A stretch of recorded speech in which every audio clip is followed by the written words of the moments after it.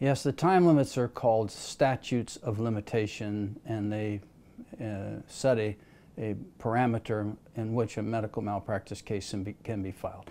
It can be up to uh, two years.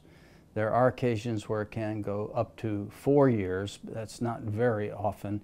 The key is when did you know that malpractice occurred or when could you reasonably have known?